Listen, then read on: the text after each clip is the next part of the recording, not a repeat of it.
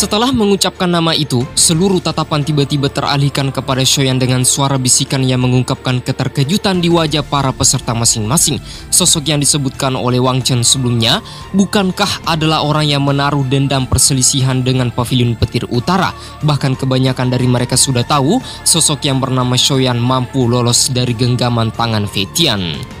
Tidak terhitung banyaknya orang yang memfokuskan pandangan mereka ke arah si pemuda bertopeng, bahkan Tang Yin sendiri pun tidak habis pikir orang yang bertarung ternyata adalah Shoyan. Apakah dia sudah gila?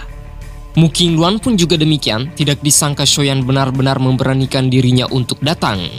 Nah, Lei Sun Sis ketika terbelalak saat mendengarkan nama tersebut, karenanya dia bertanya kepada Fitian, apakah dia adalah bocah yang bernama Shoyan yang telah kau sebutkan.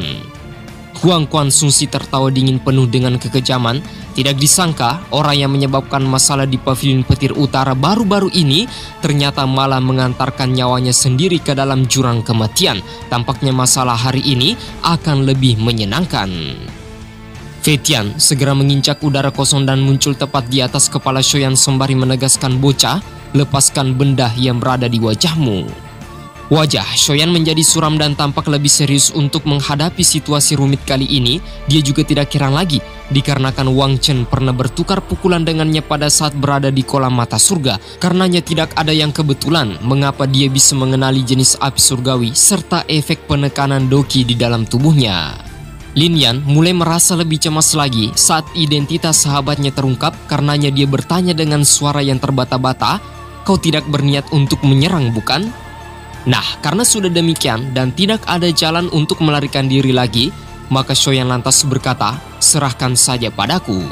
Shoyan mengangkat kepalanya sembari melepaskan topeng di wajahnya sembari bertanya, kenapa? Dia tidak merasakan takut sedikit pun, bahkan bertanya dengan tegas kepada Fetian, apakah kau berencana untuk menyerangku lagi? Fetian segera menghilang dari tempatnya berpijak dengan kecepatan luar biasa, layaknya seperti cakar hantu gelombang petir menyelimuti tubuhnya dan langsung menerkam lurus ke arah Shoyan. Namun sayang, serangan kejutan pertama itu hanya mengenai sebuah bayangannya. Fetian mengatakan, tidak disangka kekuatanmu telah meningkat lagi, pantas saja kau berani bersikap begitu sombong. Shoyan membalas, pavilion petir hanya sekumpulan orang-orang biasa Bahkan kalian para generasi tua malah menindas kami yang lebih muda menggunakan keunggulan pavilion serta reputasi kalian. Setelah itu dia lantas mengadahkan pandangannya ke arah Lee Sun Si sembari berkata, jika kau benar-benar menganggap bahwa aku memiliki permusuhan yang sangat dalam dengan pavilion milikmu, lantas mengapa kau tidak bertindak secara pribadi menggunakan kekuatan dosun milikmu sendiri?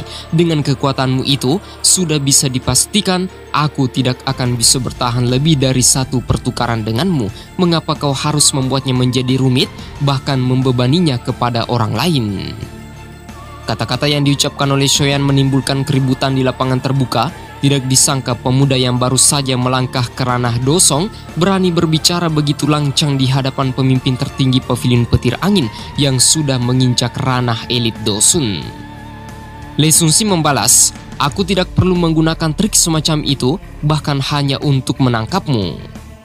Shoyan berkata, sesuatu ini adalah hal-hal yang sangat mudah yang harusnya bisa dilakukan oleh pavilion milikmu. Selain itu, jika pavilion petir utara gagal melakukannya, masih ada pemimpin pavilion barat dan juga pavilion selatan. Fitian mengatupkan giginya dengan amarah saat mendengarkan ocehan dengan reputasinya yang sudah cukup terkenal di pavilion petir utara, bahkan untuk menangkap seorang bocah dohuang saja pun tidak mampu dia lakukan. Sehingga dengan sebab itulah dia telah kehilangan wajah serta martabatnya di hadapan semua orang. Karenanya hari ini dia harus segera menghabisi Shoyan, lapisan awan langit yang jauh mengeluarkan suara gemuruh suara terendam petir perak berkedip dari dalam menghasilkan gemuruh menakutkan. Linian segera menyuruh Shoyan untuk melarikan diri. Bagaimanapun tidak ada harapan kemenangan jika ingin melanjutkan pertarungan di kandang mereka. Shoyan hanya menggelengkan kepalanya dikarenakan tempat ini adalah pusat dari Gunung Petir, sebuah markas besar yang telah dibentuk oleh mereka. Berlari keluar pun tidak akan menyelesaikan masalah. Karenanya Shoyan segera mengalihkan pandangannya ke arah Feng Sungsi sembari berkata bahwa Tuan Dosun junior ini ingin kau melihat sesuatu. Feng Sungsi pada awalnya acu tak acu bahkan dia mengatakan Masalah ini adalah dendam milikmu dan juga pavilion petir utara. Tidak ada hubungannya denganku sama sekali. Tentu saja, meskipun Feng Sunsi merupakan salah satu orang yang paling ditakuti oleh pimpinan seperti Le Sunsi, namun ada baiknya dia tidak berselisih. Shoyan segera melepaskan cincin hitam kuno yang ditinggalkan oleh Yalo dan melemparkannya ke arah Feng Sunsi. Itu adalah sebuah pembuktian yang harus dia lihat secara langsung. Nah, saat melihat cincin kuno yang berada di tangannya, Feng Xungxi mampu merasakan sebuah jejak spiritual yang cukup dalam berupa sebuah kegelisahan yang tidak mampu disembunyikan. Tatapan wajahnya seketika menjadi sangat kaget bukan kepalang saat merasakan bahwa ternyata di dalam cincin kuno itu terdapat sebuah peninggalan yang menjadi tanda persahabatan dengan teman lamanya.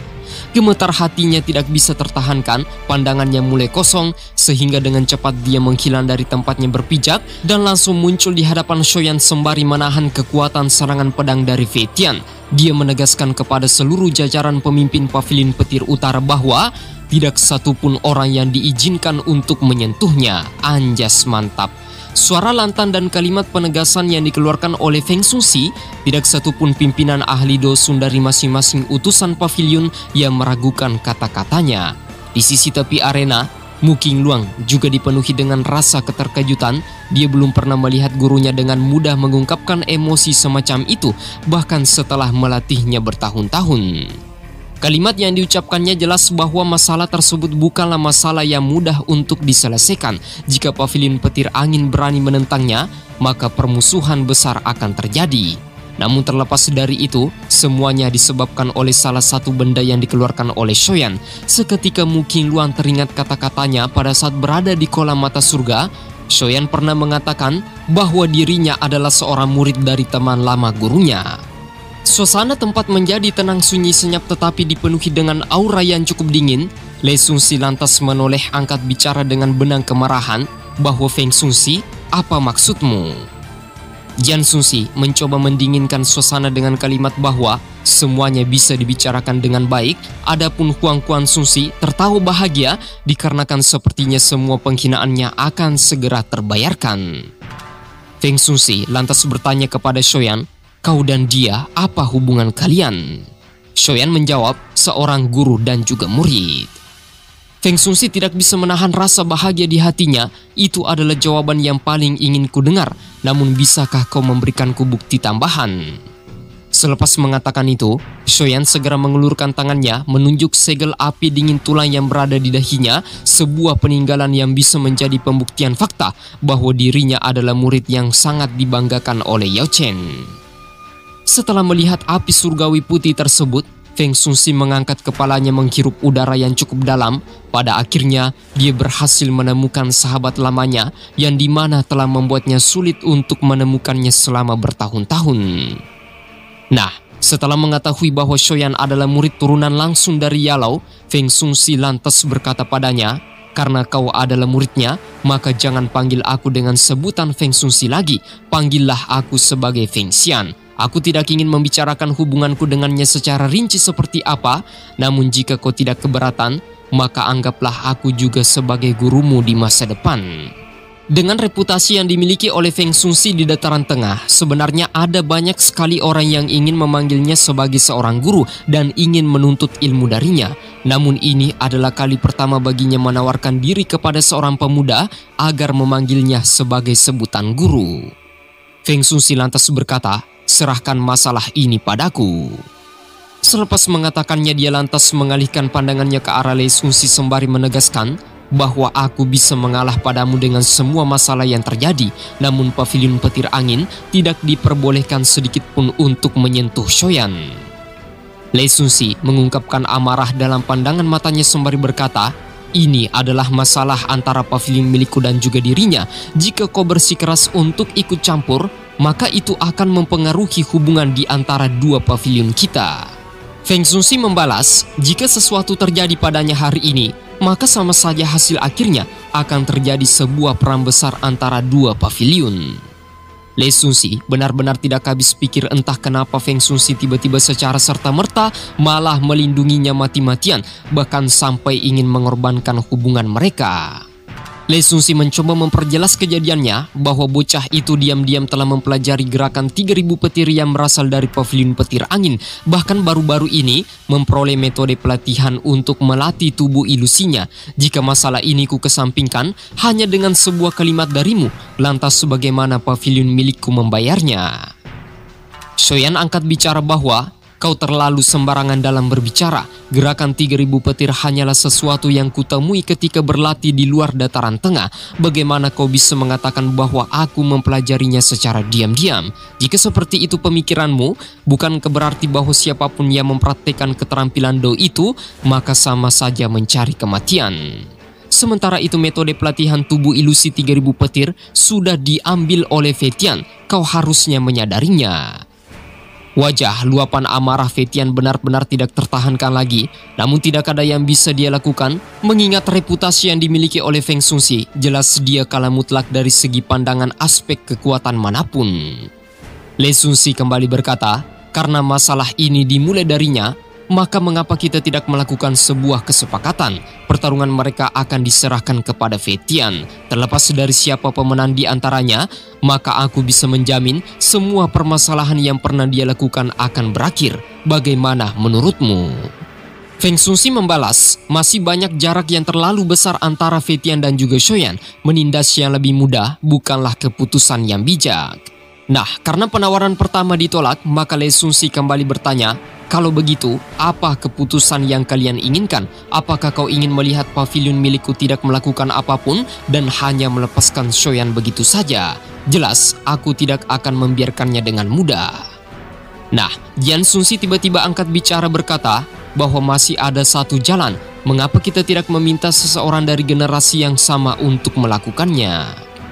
Saran itu membuat Le Sungsi berpikir cukup dalam, tapi dia mengerti dari sebuah kalimat yang diucapkan oleh Jian Sungsi bahwa tampaknya orang yang disebutkan sangatlah cocok dengan Feng King Er. Dia adalah salah satu murid generasi muda yang dibanggakan. Karenanya setelah berpikir dan berpikir, Le Sungsi akhirnya memutuskan karena Shoyan belum bisa dianggap seimbang melawan Fetian, maka aku akan menyuruh King Er untuk bertarung dengannya. Jika Shoyan kalah, maka dia harus berjanji untuk tidak menggunakan gerakan 3000 petir lagi di masa mendatang. Namun jika muridku kalah, maka dendam antara Shoyan dan Pavilion Petir Utara akan terselesaikan. Bagaimana menurutmu? Tetapi satu persyaratan yang ditegaskan dalam pertukaran ini adalah dilarang keras menggunakan kekuatan spiritual orang lain. Feng Sungsi sebenarnya cukup ragu saat mendengarkan tawaran terakhir itu dikarenakan dia tahu bahwa Feng King Er bukanlah generasi yang bisa dianggap remeh. Karenanya sekali lagi dia bertanya kepada Shoyan, apakah kau berani menerima tantangannya? Shoyan mengungkapkan tatapan membara dalam pandangan matanya, tidak merasakan gentar sedikit pun. Karenanya dia menegaskan, aku akan menerima tantanganmu.